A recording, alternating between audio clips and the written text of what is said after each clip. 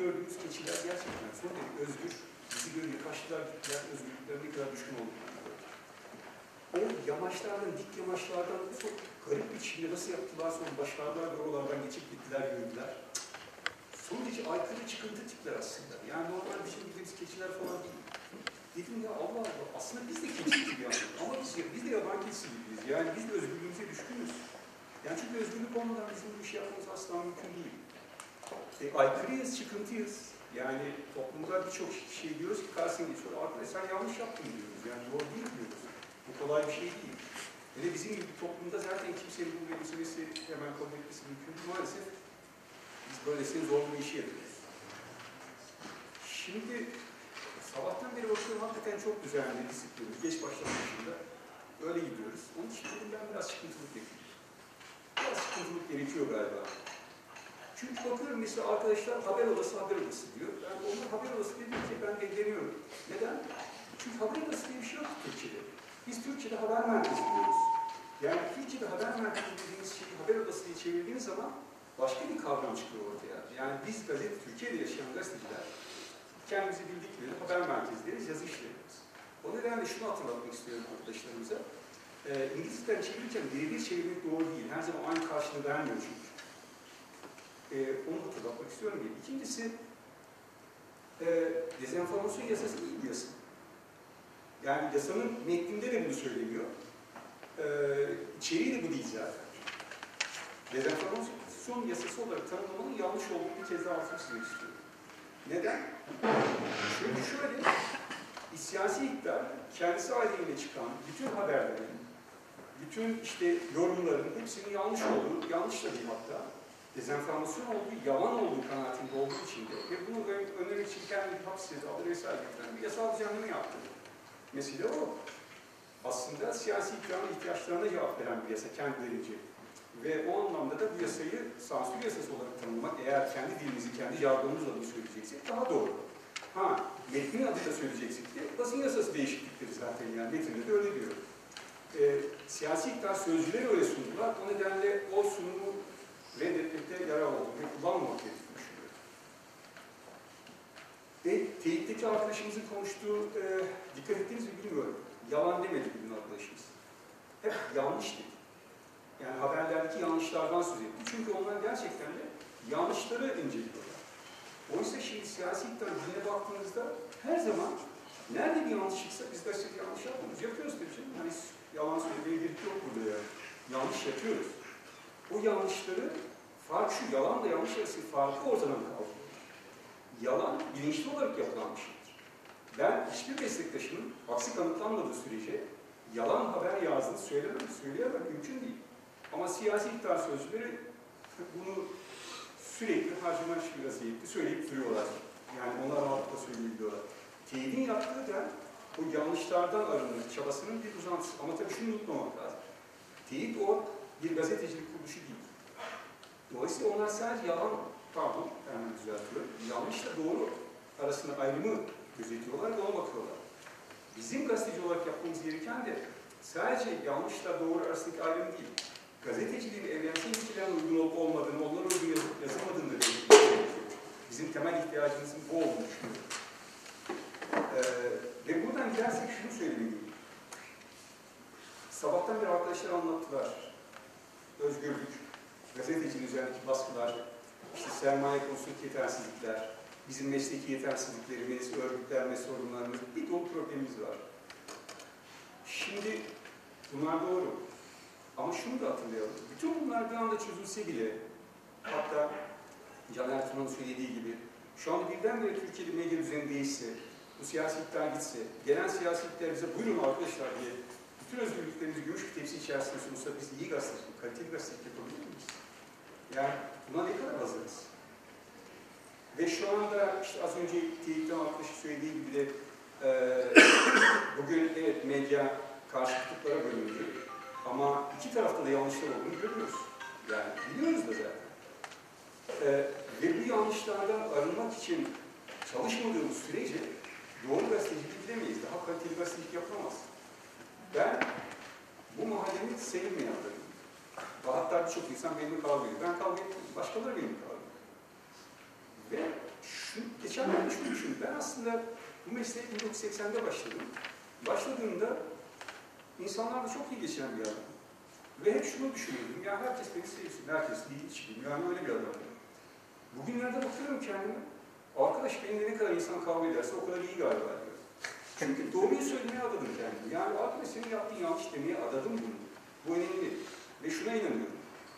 Türkiye'de gazetecilik daha kaliteli yapılacaksa bunun için bizim kendi yanlışlarımızdan arınmamız ve siyasilere bırakmadan kim olursa olsun, hangi siyasetler olursa olsun onlara bırakmadan kendi kendimizi denetlememiz şart. Ve Türkiye'de 1960'lardan beri biz bunu hep tartışıyoruz. Bir takım kurumlar oluşturduk. Ama bir türlü bunlar kalıcı olmadı ya da etkili yetkili olmadılar ve biz kendi kendimizi denetleyemiyoruz. Ya ben sadece bu konuda medya ombudsmanlığının bir şekilde yararlı olabileceğine inanmış ve bunun, kan, bunun yararını kanıtlamaya çalışan bir vatandaşım, bir gazeteci gibi. O kadar. Kendim öyle bakıyorum. Peki ne oluyor? Ben bu süreççi birileri kızıyor bana. Ben de kendi meslektaşlarımız kızıyor. Aslına bakarsanız gazetecilik diğer mesleklerin çoğundan çok farklı. Biz hata yapabileceğini baştan kabul eden, varsayan bir meslek. Birçok meslekte böyle. Doktorlar hata yapabileceklerini baştan kabul ederler mi? Ya da ne bileyim mühendisler bir bina yaparken biz hata yapabiliriz, bu bina, ileride yıkılabilir derler mi? Böyle bir şey olamaz. Doğasına ait bir meslek.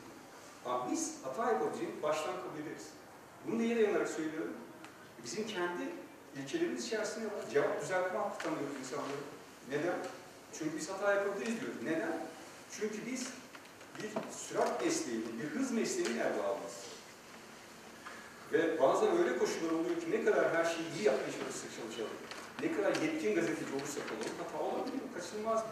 Bunu baştan varsayıyoruz ki bu hatalara ilişkin bir takım düzenlemeler öngörüyoruz, ilkeler benimsiyoruz ve bunları nasıl düzeltileceğini ortaya koyuyoruz. Nasıl düzeltilecek? Yani onun dışında bir de diyoruz ki arkadaş biz öz eleştiri de yaparız. Kendi hatalarımızı kabul ederiz. Hatalı olduğu ortaya çıkarsa bunu düzeltiriz diyoruz. Peki bu her zaman böyle oluyor mu? İşte galiba asıl problem burada. Biz hataları önceden kabul eden bir mesleğin erbapları olmakla birlikte yine de egoları yüksek insanlarız. Hem de şöhretimiz arttıkça egomuz da büyüyor. Ee, hatta son zamanlarda fark ediyorum, gazeteci arkadaşlar çok konuşur hale geldiler. Ben de öyle. Çok konuşuyoruz. Çok konuştukça, dün de kullandığım tanımda konuşmanın şehvetine kapılıyoruz. Kendi sesimiz, kendi sözümüz bize çok etkili, çok güzel bir yerden başlıyor ve dolayısıyla kendimize daha çok inanıyoruz. O zaman hataları kabul etmemiz zorlaşıyor. Ben şunu söylüyorum. Ben herkese eleştiririm. Bu meslekte eleştirince hiç yok. Hürriyette de herkesle eleştirdim. Genel yayın yönetmeninden yazı işlemediğine kadar. Ve herkes de bana kızdı. Benim farkım şu. Ben eleştirmekle birlikte kendim hata yaptığımda da kabul ederim. Ben de hata yaptım. Yani hata yaptığım kimse. Mümkün değil böyle bir şey. Çünkü şunu biliyorum. Hataları kabul etmeden hatalardan ders çıkarmak mümkün değil. Ders çıkarmadan da daha iyi kaliteli, kaliteli daha iyi, daha, daha kaliteli gazetecinin yolunu açmak mümkün değil. Bunu böyle yapacağız. Yani sadece elimizde banyomuzu aynaya bakıp ya galiba ben burada yanlış yaptım demek yetinmeyeceğiz. Eğer bir yanlış yaptıysa, bir siyasetçiyle ilgiliyse bir yanlış, arkadaş ben sana karşı haberim, hata yaptım, kusura bakma, özür dilerim ve şimdi onu düzeltiyorum diyeceğiz. Öyle mahcup edayla biz diğerlerde falan değil yani. Böyle söyleyeceğiz bunu. Başka çaresi yok. İyi gazetecilik için şart bu. Üstelik de şimdi dijital çağdayız. Ee, tam bir dijital devrimin ortasındayız. Her şey çok hızlı değişiyor. Ve üstelik de bu kadar siyasi kutuplaşmanın ortasındayız. Daha çok hata oluyor. Kaçınılmaz bu. Şimdi benim mesela yaptığım şeylerden biri, e, hani dedim ya egolar yükseliyor. Bazı birkaç örnek vermek istiyorum çok uzatmadan. Ben mesela Enver Aysever arkadaşımıza eleştirdim. Malum. Karşılığında hakaretler aldım. Söylediğim şuydu ve yine tekrarlıyorum ve tekrarlamaktan da asla bıkmayacağım. Bu işi yapan bütün arkadaşlara da yanlış yaptığımı baştan söylüyorum. Enver Aysever kötü bir örnektir. Çünkü Cumhuriyet Gazetesi'nde kendisi siyaset yazan bir yazar olarak haber kaynağı durumundaki belediyelerden para almıştır. Belediyelerle maddi ilişki içine girmiştir. Bunu söylüyorum. Elbette bir gazetecinin yani fikri ürünü varsa fikri ürünün karşılığında gelir temin edebilir. Bunda sorun yok. Ama haber kaynağı yapacağınız durumda olan bir kurumla eğer o alanda çalışıyorsanız maddi ilişkisine giremezsiniz. Bu ilk, ilkeyi ben koymadım. Dünyanın her tarafında gazeteciliğin evrensel deneyiminin sonucu bu yani. Çünkü bir çıkar ilişkisi içerisinde girdiğiniz zaman çıkar çatışması doğar ve siz o alanda yazamazsınız, yorum yapamazsınız. Yapsanız bile sizin üzerinize o çıkar çatışmasının gölgesi düşer. Ben elbette Enver Aysal arkadaşımıza oradan ilişki kurdum, Mudanya Mersin, İzmir belediyeleriyle çıkar ilişkisi kurdum, yanlış yazdım diyemem öyle bir şey. Ama bir gölge oluşuyor ve bu gölgenin oluşmasına bile izin vermemeliyiz. Şüphenin doğmasına bile izin vermemeliyiz. Bizim mesleğimiz öyle bir meslek. Aynı mesela ben Değişim Mengi arkadaşımızla da tartıştım. O da bana epeyce kızdı. Boomer falan dedi hatta. Olabilir. Yani mesele şöyle bir şey var. Bana şunu söylüyorlar. Sen de kimsin? Sen kendi kendine medya musun diyen insansın diyor. Diyorum ki arkadaş kendi kendime demiyorum bir. 40 yıllık gazeteciyim ve bu mesleğin içerisinde biriyim. İkincisi 10 kadar medya kuruluşu benim medya uzmanları tanıyor ve ben onlarla medya uzmanlığı ilişkisini yürütüyorum. Üçüncüsü, bunların hiçbir önemi yok. Ben gazeteci olarak haber yazarken bir lise öğrencisine gelip bana sen şu haberin yanlış dese ya da bu mesleği işte yıllarca yapmış olan bir büyüğümüz, duayemiz gelse, yanlış yapsa, yanlış yaptın dese de aynı ölçekte bakıyorum. Önemli olan kimin söylediği değil, ne söylediği. Yani ben Faruk Bilgici olarak seni nasıl eleştirdiğim, ona ne dediğim değil. Eğer ben sana söylediğini eleştiride haklı mıyım değil miyim ona bak yani. Eğer haklıysan onu da değerlendir, ona göre varır hatta. Şey deme bana, sen kimsin? Sokaktaki delikanlılar böyle tartışabilir ama biz gazetecilerin böyle tartışmamız lazım. Yani ya da şunu söylemesi lazım. Sen bunu yaptın ama sen de geçmişte böyle yapmıştın. 12 Eylül'den önce biz gençler aramızda böyle tartışırdık ama onların geçmiş olması lazım. Yani meseleyi kendi içerisinde tartışmayı becerip onun içerisinden deneyim üretmeliyiz. Nevşin Mengü'ye benim söylediğim şey çok basit aslında.